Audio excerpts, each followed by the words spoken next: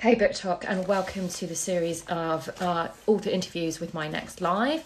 This is going to be with Emily Fluke, who's the author of Death of a Fairy Tale. It's kind of like a cross between Supernatural Once and the Grimm fairy tales. It looks amazing. Um, so I'm just going to invite Emily in now, and we will chat author journeys and all of that kind of stuff. There she is. Boom, boom, boom. Drum roll, please. Hopefully, she'll find me. Emily, Emily. Oh, Emily has declined my invite. There we go. Right, I'm sorry if I got the times wrong. So, no, I, um, I feel you. I was maths. confused. I'm an author. It's fine. Uh, we don't do math, so um, but thank you for joining me. Um, so I just wanted to, I was just introducing you and I was saying, this is Emily is it Fluke? Do you say Fluke is your last name, or yeah? Uh, yeah. So my very... go on. Go ahead. I was going to say author of Death of a Fairy Tale. I started reading. It looks absolutely amazing. It's got all the elements of the shows that I love. Um, absolutely. So, first things first. Where are you and how are you? Um, I'm great. I'm in California and it's very hot today, so that's not wonderful because I want it to still be I'm the kind of person who wishes it would rain all the time, and I'm in the state that doesn't ever rain, so it's awful. But um, yeah, I mean, I'm in. I used to live in California, but I'm in the UK, so we should just swap places because, yeah, it, it, it rains here. I miss California. Yeah, yeah, good. Yeah, it's, bright and, and sunny tell us today. when. Already got a sunburn. Oh my god, yeah, that's that's yeah, I don't miss that actually. Although you can get sunburns here. The problem with England is that we do get temperatures over 90 degrees, but there's no air conditioning. No one has air conditioning. The only places that have air conditionings are offices. Um, so when it is hot, there's nowhere to go. There's nowhere to get away from it. So we're not built for it. Um, yeah, we need we need we have lots of fans and we're the, we're putting a pool in the garden, so at least we'll have that this summer. So yeah, but it's not fun. Yeah. So tell me how long you've been on BookTok and how you discovered it. Okay, so I have been on BookTok since September of last year, so not too long. And yeah. I discovered it through my writing group, which so um, about actually a year ago, I went on a Facebook group and I said, Hey, I'm looking for a writing partner, just somebody that I could like text throughout today and we could talk about writing. It blew up, the post blew up, and I ended up creating a writing group. And we have mm. now been meeting every week consistently since then. It's been about a year. And a mm-hmm. few months into it, they were really pushing me, saying, You need to get on TikTok. You've got to do it. You've got to do it. And so I finally, I was like, I don't you know, I was just like everybody else that doesn't understand it. I was like, well, what? I'm not going to do dancing like a teenager. So, so I procrastinated it. And then I finally got it, I think in September. And then I didn't even post anything maybe until October. And then I, and then, yeah, it just kind of took off from there. I was like, oh, actually, this is my most favorite social media platform now. Yeah. I, I agree. I, I mean, I'm everywhere and Twitter Twitter was really my home for making author friends and stuff like that. I've met most of my close author friends on Twitter, but um, TikTok is definitely my happy place. I, I I spend so much more time on TikTok than I do anywhere else, and I think you need to pick one that you spend most of your time on, um, and do it well, you know, and then the others kind of take a back seat. But yeah, it's so much fun. Um, and, and like you, I was like, really TikTok and it was something my son did and scrolled through ridiculously just stupid videos. I was like, really? And then I thought, no, there's got to be books on there somewhere. So off I went to investigate, and lo and behold, there are. Isn't it exciting? Oh, fantastic. So tell us a little bit about Death of a Fairy Tale. Can you give us your elevator pitch? Okay, so one of my favorite elevator pitches is that it's the Dresden Files, except for moms and fairy tale fans. But if you don't know Dresden Files, then it's Supernatural plus Once Upon a Time meets uh, Castle. So, yeah, I love all of those things. So, yeah, I just, and the cover. I mean, who designed your cover? It's gorgeous. Um, yeah, actually, I ordered that from a website and they designed it. And I have ordered other covers from them and they're kind of hit and miss. But this one just, I sent in some mystery covers as inspiration for them to use. So mm-hmm. I can mm-hmm. show you actually, I should. I should do a video talking about the cover that inspired this one. Yeah. And this one is actually designed to sit on a mystery shelf, which is interesting because at Barnes and Noble, if you go into Barnes and Noble, they have it under fantasy which I understand. I mean, it is urban fantasy, but yeah. I now wonder about the design of the cover because it looks great, but it looks like a mystery too. It does. I'm looking. I've got it open on my laptop, so I'm like, it does. Yeah, but it's got, you know, that hint of Red Riding Hood, the wolf. You know, so there's definitely those fantasy vibes about it. Um, and that's what I zeroed in on. I think because yeah, that that's just what what I saw first. Um, but I think it looks incredible but so many books can be shelved in different places. I mean, I have one that could be sci-fi or it could be dystopian you know and john green i know some of his books go into the young adult sometimes they go into the adult you know it just kind of depends on the on the shop really where they decide to stick it sometimes but so this is the first in a series am i yes. correct yep. so what can we expect from the rest of the series like how does this character's journey continue or do you use new characters so this will be the same character. It's following Mari Fable through the whole thing and her newfound friend, which you it once you read Death of a Fairy Tale, you'll know who that is. Um, a big part of the personal thread through this is going to be her raising her child, and each book will be dealing with a different phase of parenthood and the struggles of that phase of parenthood. So the first book obviously is having a newborn and that struggle, all the struggles that come with that. Um, I just finished writing the second book, which is called Kidnapping the Classics, and that oh, one that one's set about a year and a half after Death of a Fairy Tale. So she has a toddler now, and now it's dealing with the toddler t- struggles. Yeah. Um, and yeah, that's so that's a huge thread for her personal journey. And then the fairy tales themselves, it will be a different or multiple different fairy tales for each book that she will be dealing with. So in Kidnapping the Classics, um, the main fairy tale of that is part of the mystery, so I won't spoil that. But one of the big other stories is actually Frankenstein. So not a fairy tale, but a classic story. Love it. And then a bunch of other fairy tales are mentioned in it as well. And then the book three, which I'm plotting right now as I finish editing Kidnapping the Classics, that comes out in July. That's called the Pinocchio Project. So clearly it will be based around Pinocchio. I love it. I love how you've brought Frankenstein into, you know, and I assume you've watched the entire of once. The how many seasons are there? Quite a few.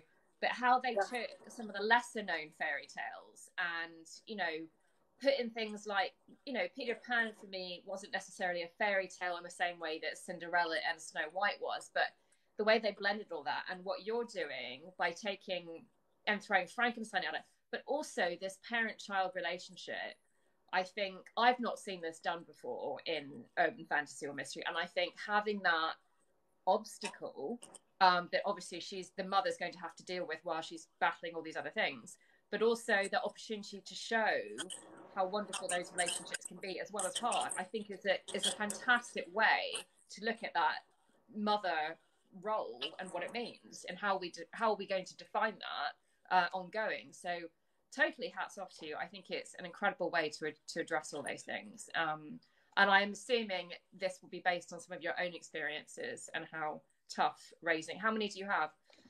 Two. Two. Yeah. Yeah. So yeah, I feel that. Yeah, it's hard. It's hard. I mean, I write young adults, so I never have to put babies in mind. But um, I love, I love that you're approaching it this way. And will you be stopping at three, or will we be expecting more? So this is originally plotted out for 11 books. Um, I wanted it to be long because I really wanted to take the Dresden Files. Dresden Files is one of my favorite series. Um, it's about a, a, it's very similar, so mysteries but magic too.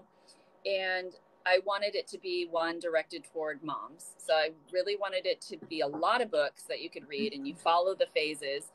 And basically, it will end with her daughter going off to college. So uh, it needs to be long to get there. Yeah. Um, but yeah, I mean, I haven't decided if I'm fully going to go all the way through or if I'm going to stop at five books or not. So we're gonna, we'll see. Yeah.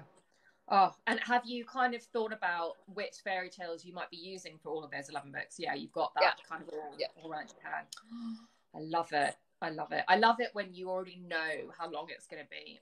when I wrote my trilogy, I started it as just one book. And when I got to the end of it, I thought, there's more, there's more to this story. Um, so I had to go back and then foreshadow things and, you know, add things in and stuff like that. But I think it's great and you know readers that fall in love with it and you can give them such a long series just to read through is is going to be so much fun um oh you got me suckered in that's for sure so do you have you been working on anything else or is this your big baby or are, are there other things out there so this was actually my big question and as an author i'm going to ask this to you as well I just started my indie author career. I've been writing books for a long time and I really wanted to go into traditional but I never got around to really querying. So I have a lot of books that are written and done that are just sitting around. Yeah. And when I started my writing group, I saw the other authors just having so much fun going indie. So I kind of pivoted and instead of diving into querying, I just started publishing. And so, so my first one is Death of a Fairy Tale that's indie published. And now I'm just so excited about it that I have so many ideas, but I'm a little concerned that maybe I have too many because I will be putting out four, the first four books of the Mari Fables mysteries this year. But I also want to do the start of a duology, which is a Snow White retelling for young adults, mm-hmm. high fantasy. Um, that one's already written. It just needs to be rewritten to fit into a duology rather than a standalone. So. I want to put out that one this year. And then I also have a series called the Gutted Grimm series, which the first book is written for that as well. And it is a thriller version of fairy tales, so very dark.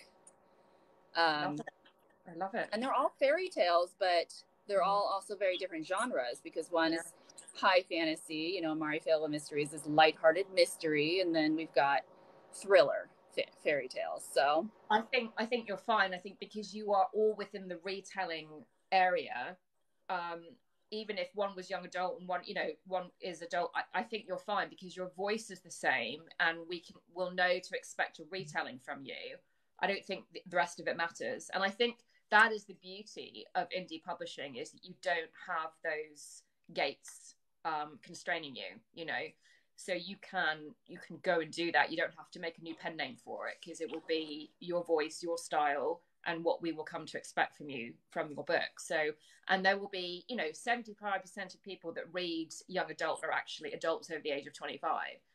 So, people that read your young adult will be looking at your adult and vice versa. Um, so, you know, so I think that's fantastic. Yay, go do it, charge on. but I think obviously, you know, depending on where you decide to release your other books outside of the the 11 book series you don't want to keep you waiting too long. Um, so that will be timing that you'll have to juggle. But you sound like you're quite productive and on top of it. So I'm sure you can. I'm sure you can do it.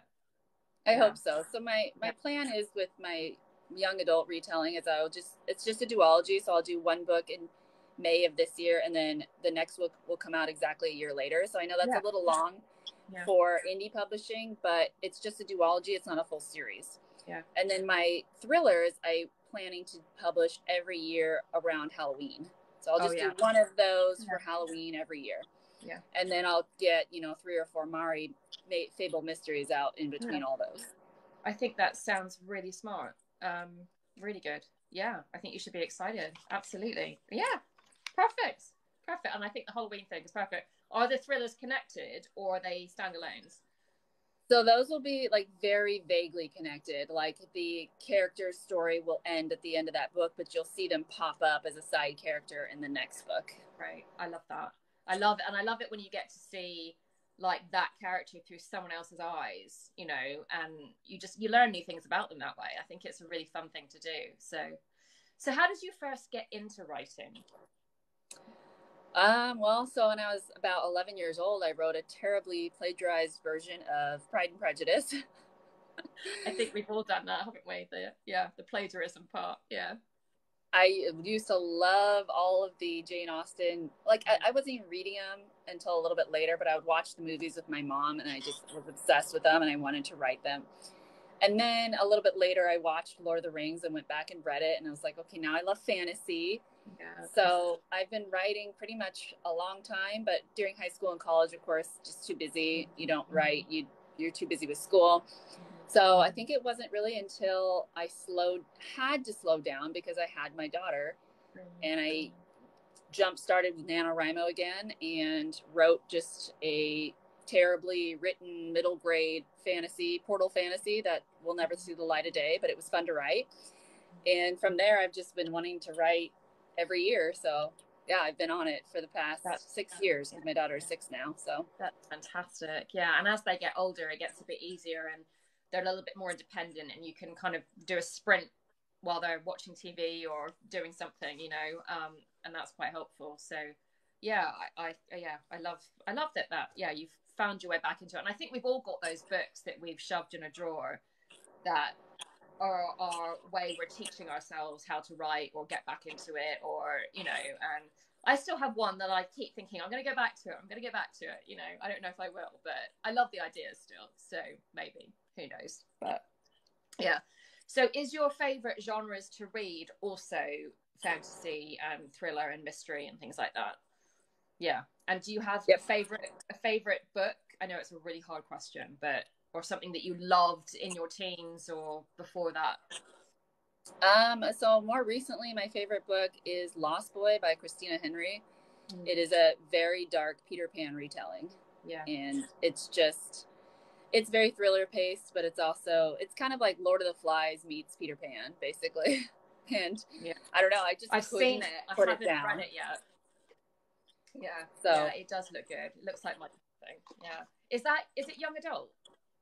Yeah. Mm-hmm. Actually, yeah, it, on if you if you go into Barnes and Noble or some other bookstores or whatever, they have it on the adult bookshelf, but I think it is originally supposed to be young adult. Yeah.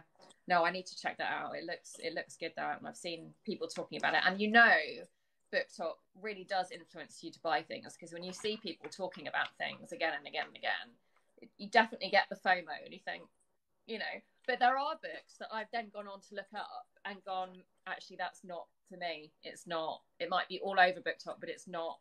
I know it's not the kind of thing that I want to read. So, um, so I don't. You know, I I resist. oh, that's good. Um, so, how do you approach your writing process? Are you so you mentioned plotting. So, what what is that? What do you do? My watch going off. Yeah, what do you do to plot your books out? Um, so now I'm using Save the Cat, which I never did before, but I really enjoyed. I didn't do that for Death of a Fairy Tale, but I did it for book two, Kidnapping the Classics, and I'm really liking it. I used to plot out yeah. chapter by chapter, and I think it got a little a little harder to see the structure that way. So I like now that I'm using yeah. something that's a concrete structure. So I do a really detailed plot and I consider or outline and I consider my outline kind of to be draft one and then when I get to my first draft, I go very, not necessarily slowly, but very, very, very carefully. And I use all of my brain power for that first draft so that I don't have to do a lot of editing. And then when I do go back and edit, it's just whatever changes I need to make based on what beta readers have said mm-hmm. and clarifications. And then, of course, line and proofreading and stuff. Yeah. And do you use a professional editor for your edits, or is that something that you use friends and critique partners and things like that to find all those things? So far, I've only been doing the second. I've been using um, critique partners and stuff because I'm just so new to indie. But I definitely will be hiring professional editor for my young adult fantasy that it's going to be in May because I think with the Mari Fables series, I kind of talked to like my critique group and my writers group about it, and they said, you know, Mari has such a strong, like offbeat voice mm-hmm. that I can kind of get away with editing it myself and having the critique group edit it rather than a professional editor. But it's yeah. definitely not something I want to rely on as I go forward. I want to be hiring yeah. professional. Yeah. And I always find, you know, I, I, like you, I use editors for some books and not for others, it, depending on how much feedback I've had and the, and the quality of that feedback. Um, but you learn something from everybody that reads it and gives you that feedback and when you have a professional do that the, the experience is is it's amazing. I mean, it puts you out of your comfort zone because there might be things flagged that you hadn't thought of or you don't want to change, but that whole process helps you grow as an author. And I, you know, I would highly recommend where people can afford it because obviously it's not cheap. Um, being able to do that and forming writers groups and getting beta readers and all of that kind of stuff, it's it's really valuable. I have a critique partner who is really good at pointing out exactly what needs to change, whether it's a character problem or a big structure problem, whatever it is. Um, and that for me, I find the hardest is making those big picture changes without advice because I second guess myself. Um, what do you find the hardest part of the whole process? Um, well, that second draft that I do after outline is definitely the hardest for me because I want to go very carefully with it. Yeah but then it is i was actually just talking to another writer on here before you got on and we found out we were very similar in that we do a very detailed outline and then we write linearly in our first draft yeah and it's hard sometimes to take big picture things like you were talking about if there's something big that needs to change in the mm-hmm. structure um, that has been mentioned by a critique reader or a beta reader and you agree that needs to change that is definitely hard for me because it's just I since I write so linearly, everything is so yeah. stacked on. A, yeah. If I try to add something in or take it out, yeah. I feel like the whole thing just is gonna come crumbling down, and it needs a big rewrite. I feel exactly the same way, and I approach it the same way because I also write literally I can't. I have to feel my way into each scene, each chapter, and although I'm a you know an extensive plotter there are things that change and there are things you learn about the characters as I go on that I didn't necessarily know. And I, so I have to do that in a chronological order because when you get to that end scene, it's the sum of all those things that they've been through that makes that scene work.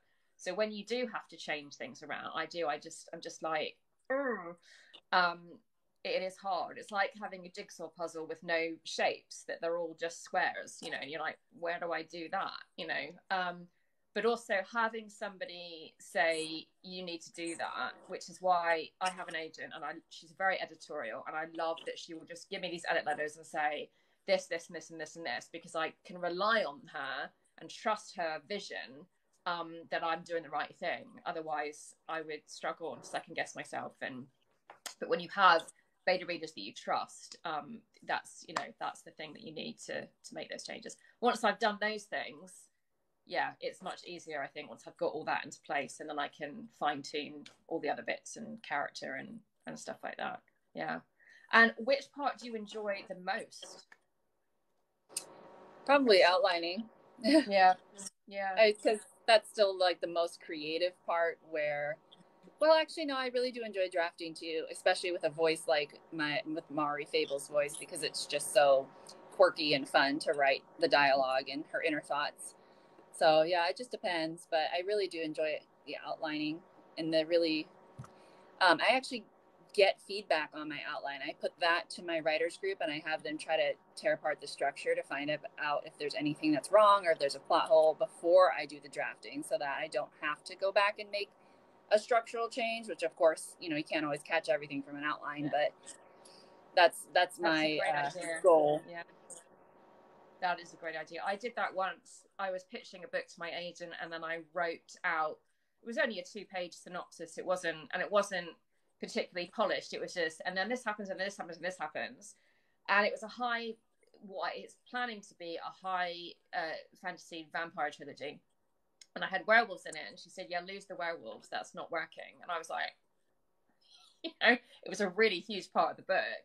Um, but actually, it made sense. And I went away and thought about how to address that. And instead of werewolves, there are different vampire clans, and it, it, it puts them all off. So it really, really worked. But I'm so glad I did that before I started writing it because, you know, or I was only, or I was only like a third of the way through or something. Um, so that I could make those changes because that would have been a huge rewrite that I wouldn't have wanted to do because you know it's it's a thing writing a whole book you know and if you've got to tear it apart um, it's not fun. Or you lose half a novel like i've done before with my computer crash. Yeah that's not fun. Yeah it was not fun. I i I had to put that book aside for a while before I could look at it again. Um, no. So, do you think that have you fallen in love with the indie way, or do you think at some point in the future you might query an agent or pursue traditional publishing? So actually, I just submitted for RevPit. I don't know if you've heard of RevPit, but it's called yeah, revise and resubmit. Yeah. So um, I'm hoping. I love the editors with RevPit. I think they're amazing. Yeah. Yeah. So I am excited with that because I do have like I like I said I've written a bunch that are just kind of sitting around, mm. and some that I definitely still want to query because there's a couple that I have that are written that I don't ever want to indie publish, and um, yeah. yeah, no, I'm still 100% interested in traditional as well, and want to go that route, and I hope that's still possible because I know there are some agents that say you know they don't want it to to rep somebody who's already indie published because then you mm-hmm. can't then an, a publisher can't call you a debut novelist. They still do um, most of the publishers would still launch you as a debut because because it's your debut into the publish into the traditional world so i think most of them realize that now and i think agents are coming around to that um, I think there might be one or two that are very traditional and no, it has to be this way. But I think, um, and I think also publishers are looking at what's doing well in the indie world, not just from picking out particular authors and books, but also genres and what the power of BookTok and what is hitting, um, you know, those bestseller lists, which isn't always traditionally published books, is a really good tool for them to understand what people actually want to read. And you know, like it annoyed me when vampires were so out of fashion, and now they're coming back in. I'm thinking, I've always loved vampires. I've always read vampires. I always will read vampires. Um, and I think when you're a reader who loves a particular genre, that doesn't ever go away. You know, it's not just because the publishers say we're not doing vampires for five years. I'm like, where are my vampire books? You know. So yeah, you're leaving the readers out of that. Exactly, exactly. They're not. So they don't. I don't think publishers are good at listening to the readers. Um, but I think things are starting to change, and I think you know the growth of indie publishing, the growth of BookTok, all of these things are starting to show publishers and agents that you know it's a new world, um, and we can do this. And yeah, and it's not easy, but so many of us are embracing that path um, and then the hybrid thing, like you're pursuing and that I'm pursuing, you know, when you're doing it a bit of both, is is so common. And you've got big traditional authors like Brandon Sanderson, who's now indie publishing, you know. So yeah, I mean, it's it's a great, you know, it just yeah, it's fantastic. It really adds credit to everything that we're doing. So yeah, we'll get there. But it is slow at the moment. It's so much slower than it was before, just because of COVID and everything. It's um, so if you do do, if you are pursuing it, just be patient and keep writing because it's just taking a long time. Yeah, unfortunately. Yeah, yeah. there needs to be a better process, I think, for that whole querying, um, not just agents but also with publishers because they have to read everything outside of their working hours. So, yeah, that's not. Yeah. I have a I have a thriller retelling of Hansel and Gretel that's for young adults, and it's very dark. And so I actually took it to a Futurescapes conference, which is um, offshoot as a horror thriller called Fearscapes. So I got to not pitch it to agents, but they they helped me work on the query for it. So I I had um, a couple of different big young adult agents look through it, and they actually seemed interested. So I do want to still query that Excellent. one for sure. And then I had a horror author who's published in the traditional world uh, read through it as well. So that's one that I'm planning to take to traditional, and I will never, I would never any publish so that one anyway. Think you've done a Hansel and Gretel because it's an idea I've been playing with for a while, um, but I almost want to make them the villains of the story. Uh, but I just bought the original Brothers Grimm because whether I do that as a retelling or not, I want to take maybe one of their lesser known stories and kind of play around with it. And um, but I need to yeah I need to read it. At the moment, I'm I'm starting to plot a young adult Dracula modern day retelling. So that's the next book my agent and I have decided to uh, to do. I mean, it's quite dry. The original, I never read the original book, which surprises me because I love horror. Um, but it's very dry and it's entirely in journal entries. So I'm thinking there's going to be a lot of WhatsApping and FaceTiming and in in my retelling. But I'd love a retelling. Retellings are so fun when you can invert so many things and tropes and characters and genders and all of that. It's um oh, I'd love to read it. Hint, hint. it's a it's I'm a huge um if, if, you've heard of locked puzzle rooms or escape rooms, I'm a huge fan oh, of those. So that's what it is. It's Hansel and Gretel in an escape room. So that's cool. Wow. It's fun. It was really fun to write. How did you come up with that idea? That's that's a really cool idea. I love it.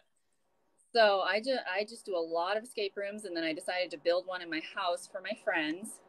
And it was so fun making the puzzles, but it was also hard because I don't have like the resources to actually build like the pulley yeah. system to yeah. make the cool puzzles. But I was like, but I could write this. And since I love retellings, I figured actually escape rooms lend well to any retellings because you would you know there's so many dark re, um, fairy tales where they're trapped right rapunzel's yeah. trapped um, the queen and, or the girl in rumpelstiltskin is trapped i mean there's just so many but i took hansel and gretel because i wanted this brother sister relationship yeah, yeah. and they go off and find that they're trapped in this cult or this uh, escape room built by a cult so that's so cool. That's so cool. I'm fascinated by cults as well. I studied them when I was at university. Psychology was my an undergraduate degree, and I was I loved the whole cult concept. I just yeah, I wow, this sounds like an incredible book. I can see why there's interest. I hope that you continue to get that because it sounds awesome. Um, yeah. So where do you get your inspiration in general from? I mean, obviously, uh, we know you like a retelling and the fairy tales, but how do you decide where you're gonna, what situation you're gonna put them in? You know. I think it, uh, a lot of things is like what I'm interested in. So, like with the Mari Fable mysteries, I obviously wanted to put her in the motherhood situation because I want to see a mother who's going to be kick butt and be able to fight or hunt supernatural creatures while raising her kid. So that was really easy for me because that was something I wanted to read and then like with this uh, Hansel and Gretel, um, I just love escape rooms. So I was like, well, I'm going to throw this into here and see what happens. So I take something that I think either I really want to read or I already really enjoy in my life, and then I put it with the retelling uh, or with a fairy tale and then retell it. And that's fantastic. Away, um, yeah. I think you should carry on with this stuff because my agent said to me the other day that retellings are golden. Um, so I think people are actively looking for retellings. So keep on that path. I think I think you've I think you're on the right path. Um, definitely, and you've got great covers. So you know that's working for you as well. So oh, so exciting. I yeah, I love it. Totally love it. Oh wow, wow. Um, do you put any like secrets or Easter eggs in your books for people to find? Oh, you do. I love it. I love there's so many people that do. It's awesome.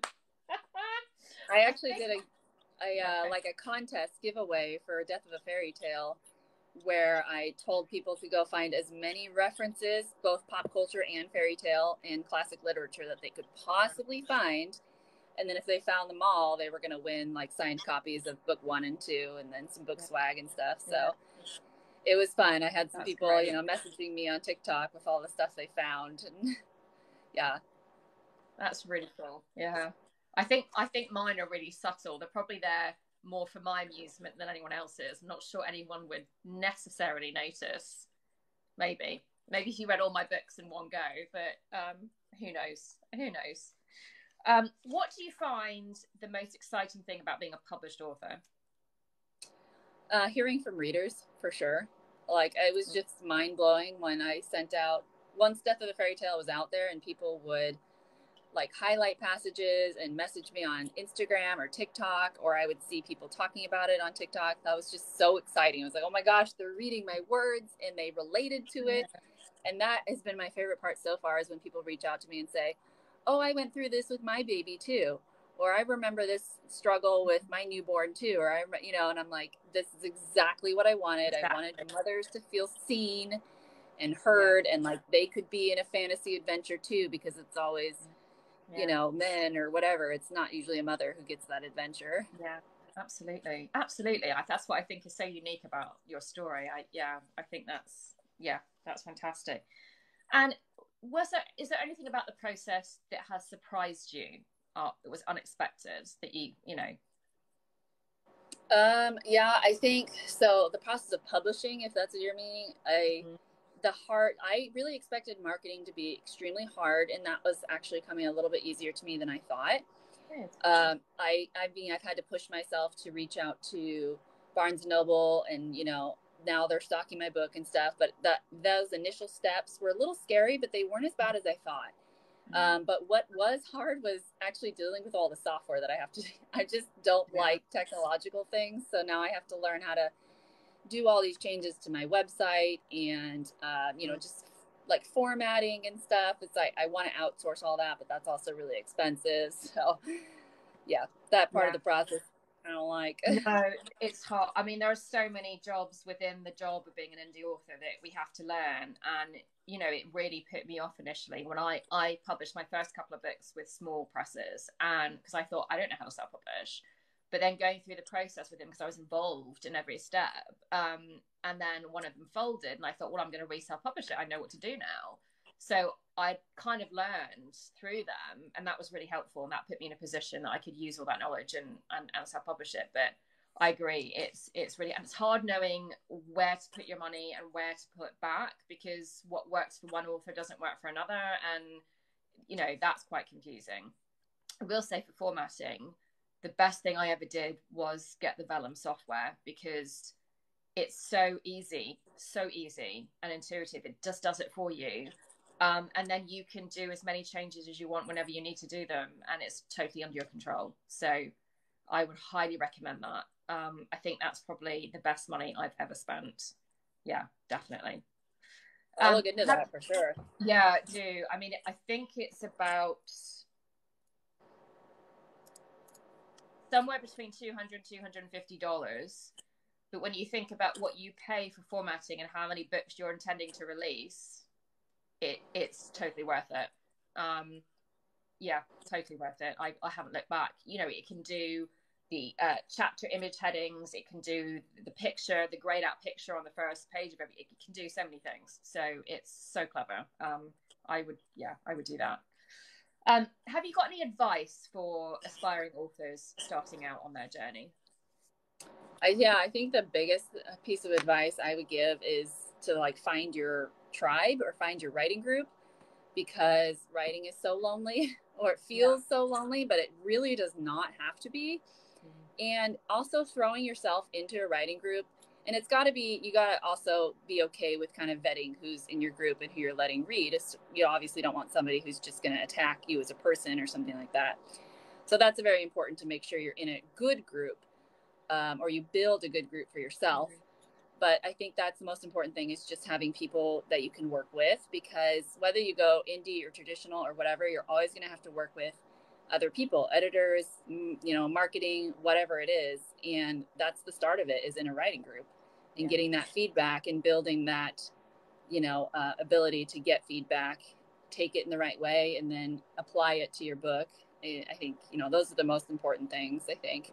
But also just the friendships and having people to talk to about writing because you know people that aren't writers that are in our daily lives don't understand. They just do not. And you could talk about it to them all day which is fun but it's not yeah. going to be as fun as talking to another writer absolutely. I mean whenever i get to meet another writer in real life it's just so exciting you know it, yeah it just makes my day.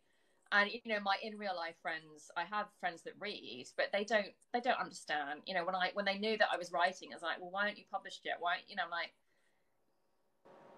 stop asking you know they don't get it. So it is that is having that tribe is so important. I i totally agree with everything you've said. Yeah that's that's really good. Yeah um what else am I? I mean, I have, didn't have time to look through my questions tonight. Oh, so marketing. We mentioned marketing what do you do if you're marketing? Do you run Amazon ads or Facebook ads or anything like that? Do you rely on social media? Do you have a strategy? Um, yeah, what does that look like? So I, I don't have a strategy yet because everything is still just like testing and learning since, mm-hmm. you know, Death of a Fairy Tale was the first one. Mm-hmm. Um, I think so. I mean, the biggest thing so far for me has been TikTok. I think that has been most of my my readers is where I found them, and then they went and found me on Instagram, and it's just been great. but I do, you know, I'm playing with Amazon ads and seeing what works and what doesn't, um, trying to learn those. And then I do have some running and I'll turn them on and off, just trying to see what works. I mean, I do sell some books on there. Um, I did do a BookBub ad the day Death of Fairy Tale came out. Yeah. But it wasn't a featured deal. It was the new releases, um, which is different.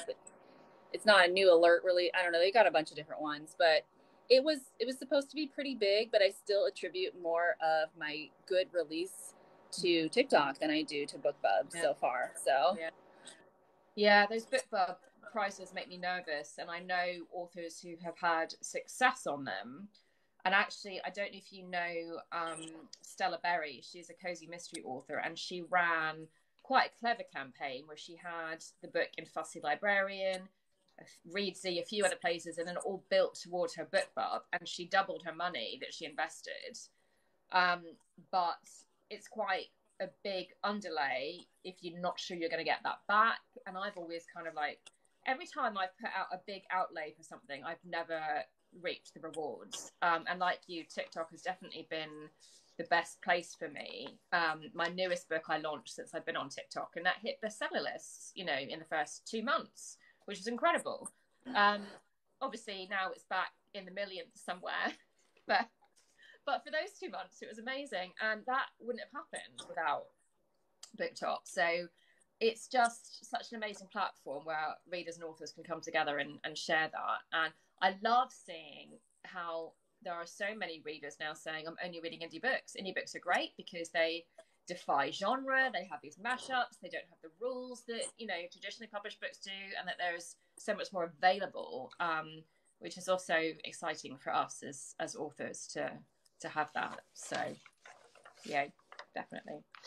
Um, right, we've got to the part in the interview where we go for the fun questions. Um, as a writer, what would you choose as your spirit animal?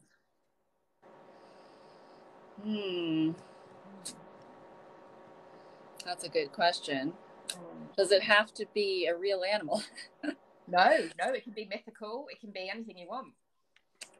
Yeah, I think I would choose. Okay, so I do have this other series, the book out. It's a collection of short stories that was published by a very small press in the UK. And I have no control over it. I can't like market it or anything, unfortunately. So now it just kind of sits on Amazon. But I created these little things, and it's inspired by these guys they're called poros. Oh, cute. And I have, yeah. they're called uh, gibbets in my Eve of Anarchy book, but they basically just eat discarded magic and they're just hungry all the time. So I think this would be my spirit That's animal so cool. because like if I, I just love eating and if I could yeah. eat magic and just, yeah, That's I don't know. Cool. I love that they eat discarded magic. That's such a cool concept. Um, that's, that's amazing. I, I like that a lot. How many do you have? of uh, in the book or because they're well, just yeah but no in real life have you did you make them? So no these are actually from a video game. The original um, i stole the idea from a, a, a, video game and then like renamed them. And yeah. they don't in the video game they don't eat discarded magic or anything. Yeah. they're just these little things that bounce around like wow. in the background so. That's so cool. I love that idea. That's fantastic. Um okay. If you could only drink one drink and eat one meal for the rest of your life, what would it be? This does not have to be a healthy decision. You are allowed to give into your guilty pleasures here. Hmm. I'm gonna have to say iced coffee and a burrito. oh, I like it. Goes well together, especially in especially in your neck of the woods. That's quite a common thing, isn't it? Yeah. It is. Love yeah. Uh, okay. What is your favorite color? Orange. Orange. That's quite rare. My son's favorite color is orange. Um, I love it. Yeah. Why? Because it's super bright. I think yeah. I we my husband's favorite color is purple, so we had orange and purple at our wedding, and nobody believed us that it would look good together. It looked great I together. I bet it looked very elegant, actually. Um, I can imagine that. Yeah. Wow, that's incredible. Uh, have you got any pets? Uh, yeah, we have two guinea pigs because um, I don't want to deal with cleaning up after a dog or a cat while I have kids. So but do you not have to clean out their cages like once a week or something? Yeah. Yeah, you do. You do. Yeah. I think, So- see, I have a dog and I think I'd rather have that than, like, well, I don't know. It just depends, doesn't it? It does. Okay. I do. Here's the, yeah, here's the big question. This depends on whether you get ejected from your chair or not. Let's see what your answer is. Are you Marvel or DC? Marvel. Okay, you're right. You're allowed. You're allowed to stay.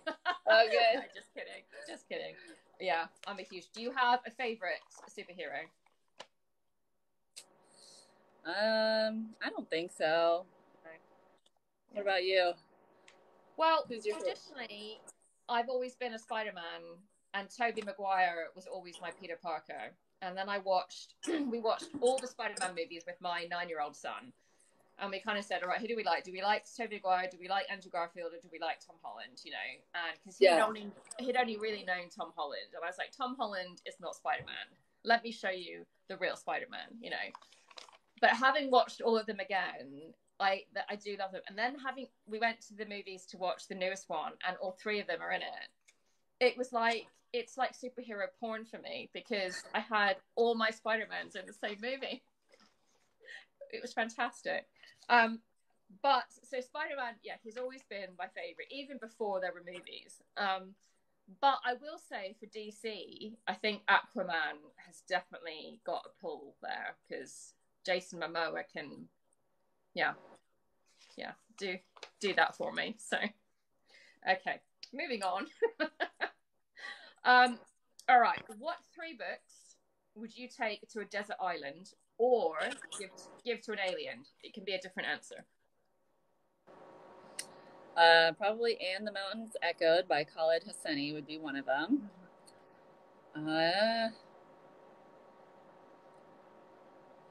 and then probably I don't know if this counts as one, but the Lord of the Rings trilogy would Yeah, be. that's fine. You can Yeah. take a series as one. That's fine. I'm fine. Uh, yeah, and then gosh, I don't know. Let's see the third one. I gotta look at my bookshelf. yeah. Uh, I feel like I gotta throw a YA one in there just because I love YA. So I'll say uh, Ash Princess trilogy. Oh yeah. Good. Good. Good. And what do you think an alien would? What do you think we should give aliens to read? Uh, also, and the Mountains Echoed, Okay. and ooh, yeah, I don't know. I, I don't know beyond that. I I say that one because that one jumps like all around the world with a bunch of different characters in really Yeah. different situations. So they would learn a lot. Yeah. Yeah. Well, that's the point. I think. Um, yeah. Yeah. Maybe something anti-war or anti-invasion. I don't know. it might be helpful. Okay. Your last question. Do you have any talents that would help you survive the Hunger Games? Uh, only thing would be, yeah, probably figuring out strategies would be my talent because of how many escape rooms I've done. Ah, yes. So if there's any yes. clues left for me anywhere, I, I would be good at finding those for sure. I bet you, like in the second one where they've got the clock, I bet you would be figuring that out quite quickly, actually. Um, yeah, yeah, okay. I'm on your team because I'm a dead weight, so I can swim, but that's not very helpful on the first one. So, um, yeah, there we go. Well, Emily, thank you so much for joining me. It's been a pleasure to talk to you and to get to know more about you and being an author and your book. Uh, and I can't wait to read more and hear about the rest of your journey. So do come back and chat to me sometime. Um, and I will let you get on with your day. And I wish you the best of luck. I cannot wait to hear more. Thank you so much and reaching Yeah. out, talking. This has been so fun. So thank Really you. fun. I love I love learning about other people's journeys and you know connecting and all of that. So um, it's great fun, really great fun. But I will let you get on with your day and uh, hopefully not get any more sunburns. yeah. Yeah. Bye. Bye. That was Emily Fluke. If you are interested in being on my show, if you'd like to be interviewed as an author, blogger, cover artist, whatever you are, do sign up to the Google form. Just swipe right and follow the arrows, and you will find it. Uh, and until then, I urge you to check out her book, The Death of a Fairy Tale. It sounds absolutely amazing, right up my street. And I have started reading it, and it is funny, funny, funny uh, as well. So check it out, and I hope to see you soon.